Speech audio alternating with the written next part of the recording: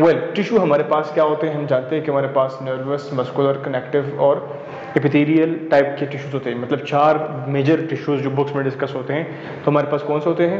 Nervous tissues होते हैं muscular होते हैं एपिथेरियल होते हैं और कनेक्टिव होते हैं। हम कहते हैं ना कि सेल जब ग्रुप करते हैं तो वो टिश्यू बनाते हैं। हमारे पास एक सेल होता है तो वो एक सेल है। अगर वो सेल के साथ एक और सेल एक और एक और एक और, हम कहते हैं ना large number of cells group together वो क्या बनाते हैं? वो टिश्यू बनाते हैं। कि कनेक्टिव टिश्यू में जो सेल्स होते हैं, एक सेल यहाँ पर होगा, दूसरा यहाँ पर होगा, तीसरा यहाँ पर होगा, चौथा यहाँ पर होगा और बीच में जो है वो मैट्रिक्स होगा। और मैट्रिक्स बहुत ज़्यादा होगा सेल्स कम होंगे।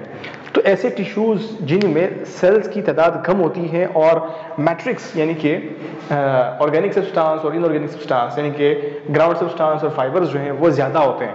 तो वो जब वो ज़्यादा होंगे और सेल कम होंगे तो फिर वो क्या होगा? सेल बहुत दूर दूर होंगे एक दूसरे से और बीच में जो है उनके, वो ग्राउंड सब्सटेंस और फाइबर्स बहुत ज़्यादा होंगे।